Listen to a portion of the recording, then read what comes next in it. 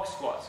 A box squat is a great way to overcome the stretch shortening cycle or to work on rate of force development from the bottom or the sticking point of your squat.